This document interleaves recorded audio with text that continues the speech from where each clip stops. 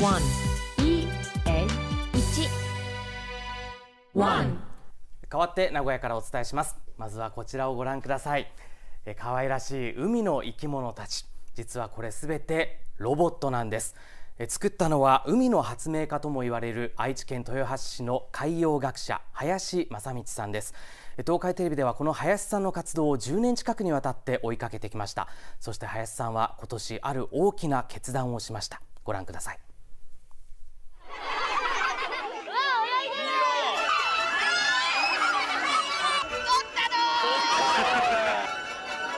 この人の周りにはいつも笑顔がいっぱい。ほっぺが白いだろ？それでザメっていうの。たくみんなおじさん作ったロボットだから。本物は100万倍怖いぞ。林正道さん55歳自らを海洋学者と名乗っています。林さんは全国各地で海の教室を開催。自然の楽しさ大切さを子どもたちに伝えてきました相棒は海の生き物たち。これ全部ロボットなんです。本物そっくりに生き生きと泳いでいます。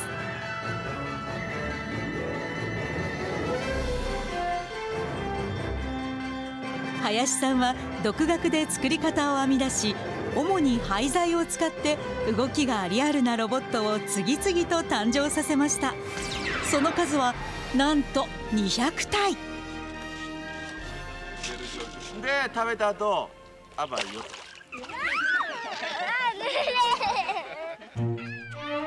10年前に始めた海の教室。そんな林さんの口癖は？本物は100倍可愛いぞ。本物は1000倍可愛い。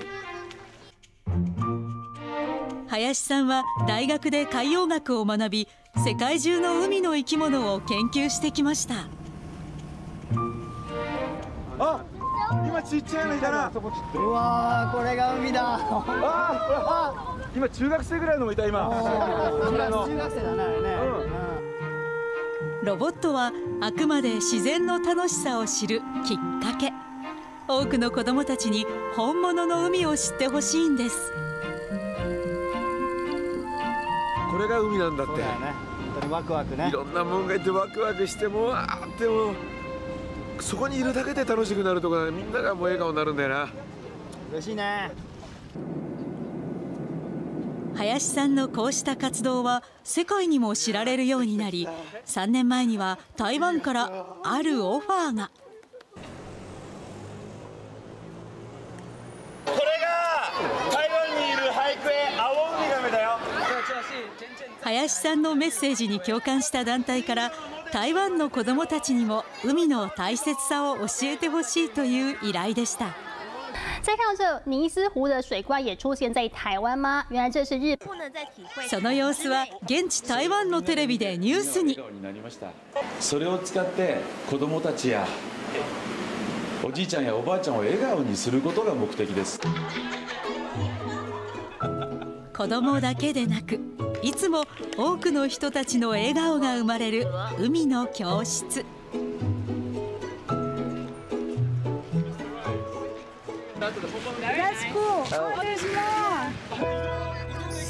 海の教室を始めて10年。今年林さんはある重大な決断を下しました。だから終わる時ですね。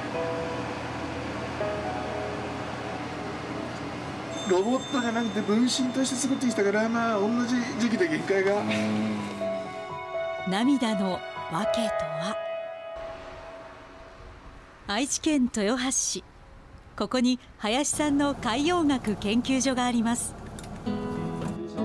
林さんの活動は生き物のロボット作りにとどまりません。5年前から水の中に入ることができる車椅子を開発していました。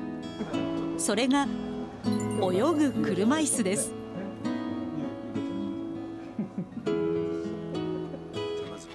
海やプールで泳いだことのない車椅子の子どもたちを水の世界へと導きました。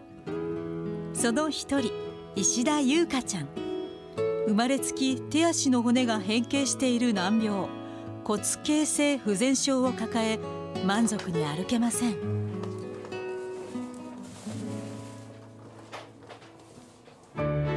一人で泳ぐなんて夢のまた夢でした。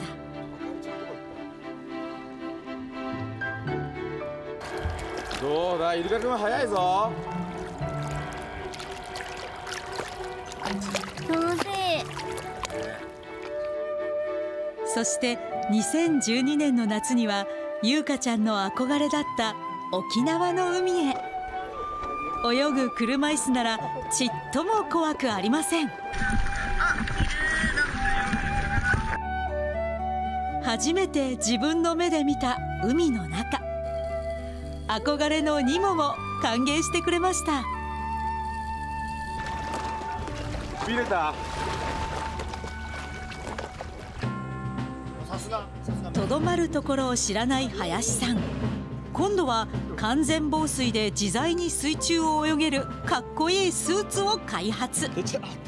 友人の協力でテストを重ねますその名もアイアンマン。ならぬ鉄人スーツ。病気で全く水に入れない子供が泳ぎたいという願いを叶えるために開発したもの。気管支に難病を抱える山下春樹くん。呼吸をするため喉に穴が開けられていて一度もプールに入ったことがありません。足伸ばしてみろ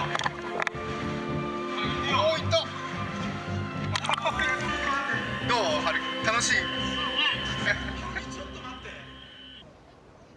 さらに今年春泳ぐ車椅子は驚きの進化を遂げます。ようやく念願の手足を使わなくても操作ができる泳ぐ車椅子が完成したので。手足を使わなくても泳げる？この日はその初テスト。一体どんな車椅子なんでしょうか？2016年最も進化した新泳ぐ車椅子です。手足が動かない方一番最後まで動いてらっしゃるとこどこかなと思って観察してたら口なんです。あのそ咀嚼っていうんですかね。っていうことは顎を動かす筋電位を拾うのが一番いいので一番電位拾えるのがこめかみなんです。そこにセンサーの位置を合わせてつけます。こちらは筋肉が動くときわずかに流れる電気筋電位を利用した車椅子。専門家と一緒に開発しました。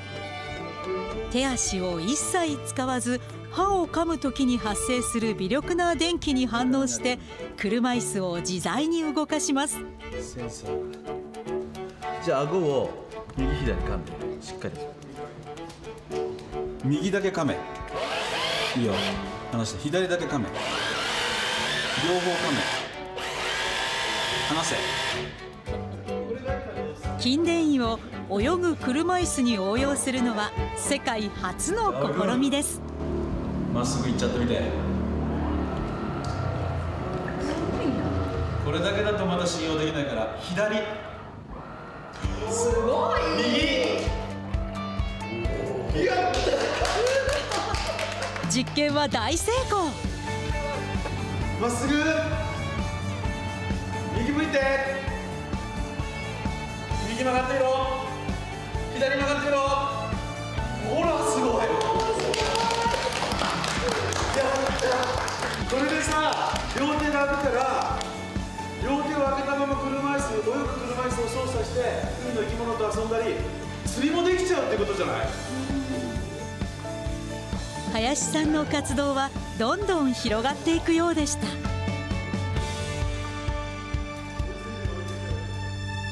ところが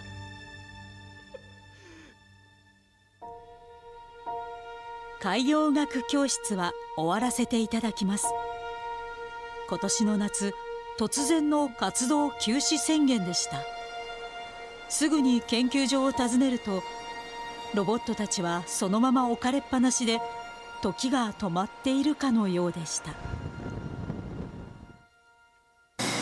一人じゃもう無理だなと、まあ、資金だけじゃなくてね、物理的に、まあよう頑張ってたな、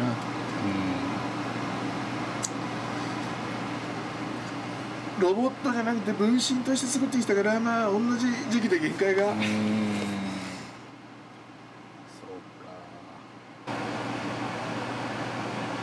だから終わる時ですね。同時に今もうまともに歩けないですよ。ね実は林さん数年前に肺がんを発症しました。長い間治療を続けましたが今も痛みと戦っています。本当ちょっともうやっぱ腫れちゃったし。見た目とは裏腹に手足の神経も侵され去年からは一人では満足に歩けなくなり教室も座ったまま。10年続けた活動は限界をとうに超えていたのです。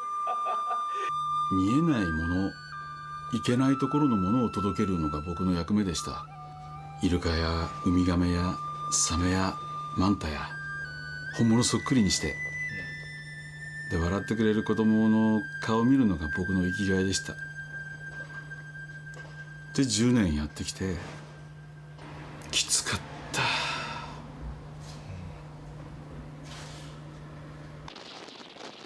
もう体は限界。この日長野で開かれる海の教室で10年の活動にピリオドを打つことに。終わり終わり。最後の舞台は6年通い続けた子ども病院。病気で海に行けない子どもたちが大勢います。相棒のロボットたちも今回が最後の出番。林さんの海の教室ラストステージです。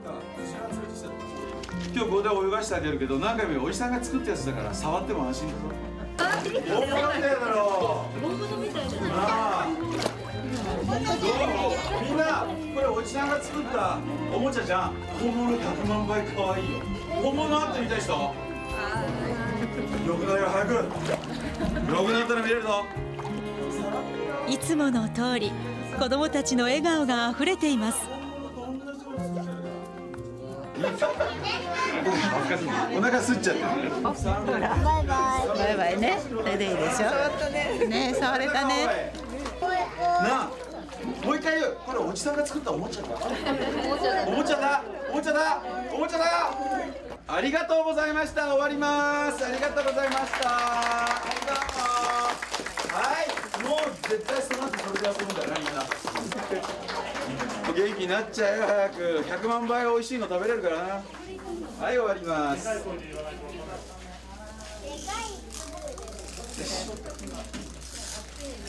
あいつもと同じいつも通りでしたよ最後も。結局ね子供笑顔で帰っていって。またこう誰か笑顔でできるように僕じゃない若い人ができるようにバックアップをちょっとしていこうかなと。やっぱ今日の子供たち見ててもねあの誰かがまたやってくれたらなんてある。実は3年前からロボット作りの教室を開いていました。林さんは今自分の思いをつないでくれる後継者の育成にも力を入れています。もし誰か本気だったら本気で後を継ぎたいと思ってくれたら弱点を補うロボットを作る自信はある悪いところもね。そういう人が出てくれるのを僕は期待する。終わりが来たっていうことは僕は始まると信じてます。それだけすごいものだと僕は自負してる。海洋学者の林正道さん。これからもきっとみんなを笑顔にしてくれるでしょう。